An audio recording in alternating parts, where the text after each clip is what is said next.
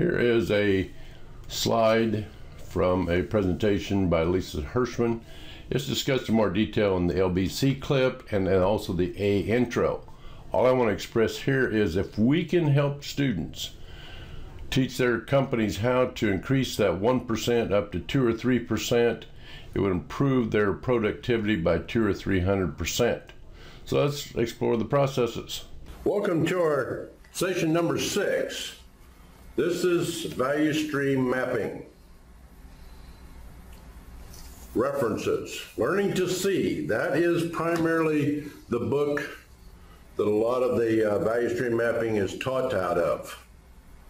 Also have a 67 slide presentation from Lean Enterprise on value streams and have a copy of a industry presentation by Joe Ely, who's Director of Operations at Cook Biotech in West Lafayette, as a presentation at the Wabash Valley Lean Network uh, meeting.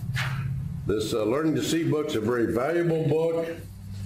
We'll talk about things like uh, cycle time, C slash T, changeover time, C slash O, equipment uptimes, U slash T. We'll talk about current state value streams.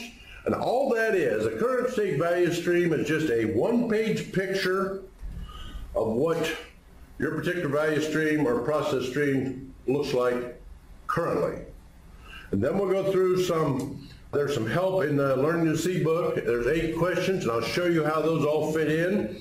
And then we'll go and develop a new one-page sheet. The target condition, or the future state value stream map. Now, uh, Director Ely showed how Cook Biotech used the, the uh, value stream mapping process to solve a good problem. How to meet the tripling of a customer's demand for their product without one, hiring or training new employees, adding two more shifts, or any shifts actually, adding many hours of overtime, or inv not investing in large amounts of capital for new equipment. Triple the product with very little additional added expense. And since the purpose of the current state value stream mapping is to point out areas that need improvement, it also helps the Kaizener to find an opportunity to develop, implement, and share Kaizen implementation ideas. Now, before we start with the value stream mapping, what I want to know is, let's, let's talk about you. Where are you? One possibility. You're in the process of completing your chosen degree in uh, project management, business management, electrical engineering, EET, IT, etc. You have completed some continuous improvement lean concepts training, received some SME student chapter certificates to add your portfolio, which looks nice, and added your skill sets to your resume. You have participated in some job fairs. The last one seemed uh, pretty favorable. You're hoping you get a, a, a job offer. In the mail, you receive a, a very interesting offer from one of the companies you interviewed called Acme Manufacturing. They offer a trial project to have the total processing time of one line, one of their lines. They offer you $10,000 for this project, and they offer you a job for $150,000 a year, a job reporting directly to the operations manager if the project is successful. Wow, you think? I, I, I think I'd like to have that job. But how do I complete that project? I suggest you read on. Maybe you'll find some help there. Okay, in your, in your lean training, you've learned a little bit about value stream mapping and you realize that what you, to be able to accomplish this job or tackle it, first you've got to map a current state value stream and then develop the future state value stream map.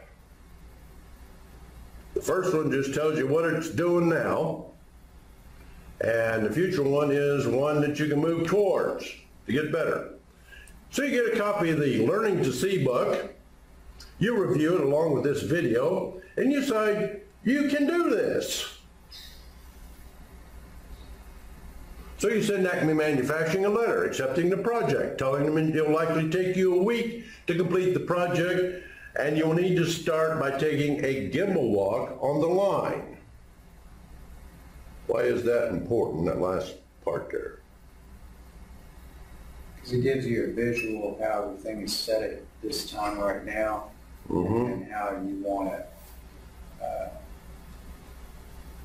set it up for the value stream mapping.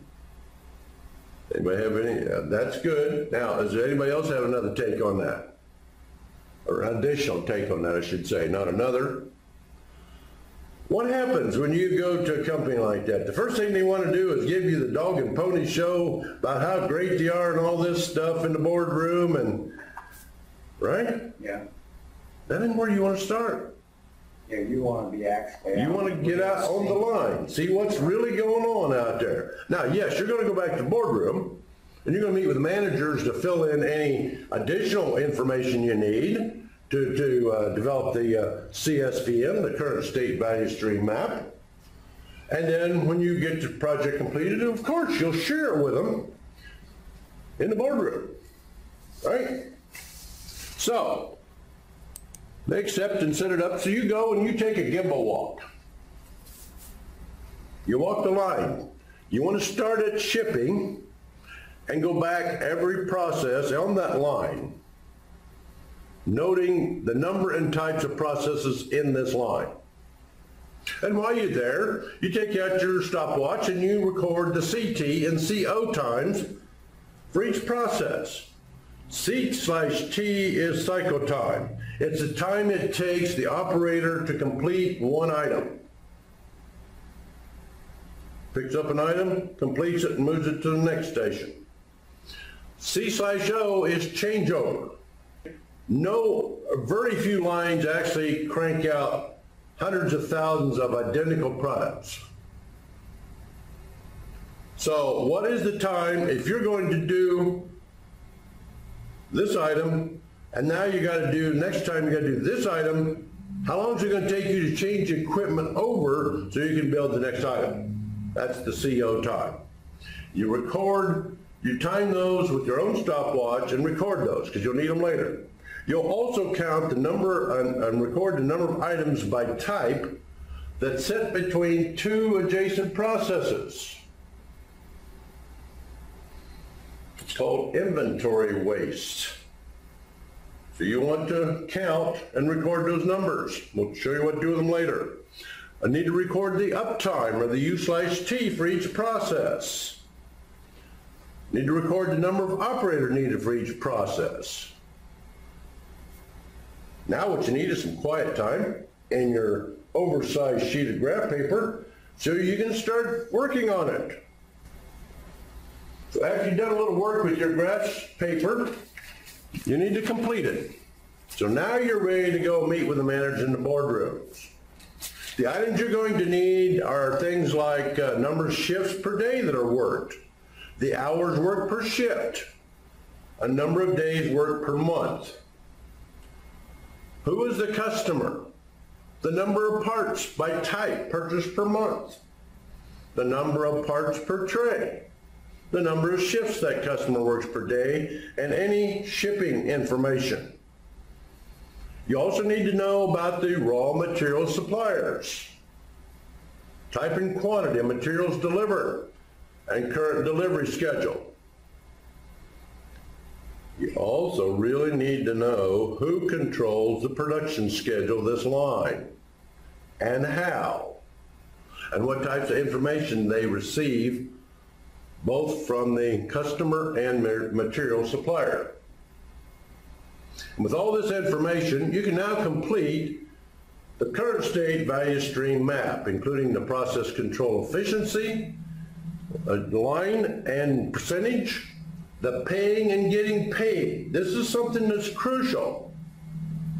You want to shorten the time between the time when you have to pay for incoming materials to the time when the customer's willing to pay you for a delivered product. And that's what they're basically asking you to cut in half, is that time. The time, the time from paying to getting paid. And a, a quality, quick and dirty quality evaluation of your success is number of inventory turns per year.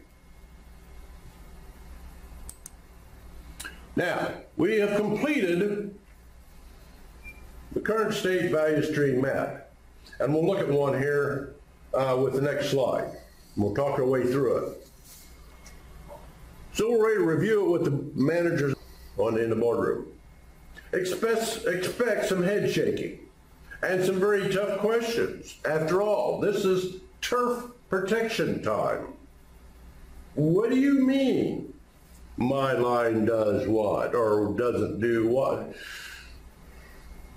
That's the reason you don't want to go to the boardroom in the first place because the managers all get up there and tell you what a great job they're doing and minimum inventory and blah, blah, blah, blah, blah. And all you want to say is, really?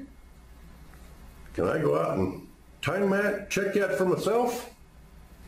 That's the two phrases the guy that taught me how to do a, a value stream map like, really? And can I measure that for myself? Can I go see? You need to know what's really out there. Note, up to this stage, and I'll show you it here in a minute, next slide, you've done nothing yet but to expose them to the truth of how their line is currently performing, including all of its waste, warts, inefficiencies, and all. All this, all the C, CSVSM shows you is how it currently operating today. Now, you would like for them to agree with you and say, charge on, man. And that may not happen. But reconciliation based on your observations is acceptable to move on.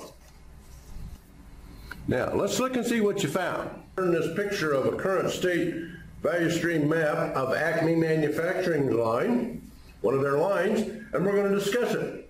But bear in mind we're doing this, the paying to getting paid or the process, uh, the total process time is 23.6 days.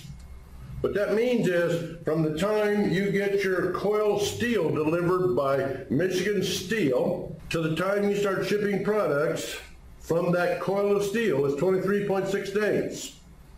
Your inventory turns at 20, 20 days a month times 12 months is 240 days and you're divided by 23.6 is you're lucky to get 10 inventory turns a year.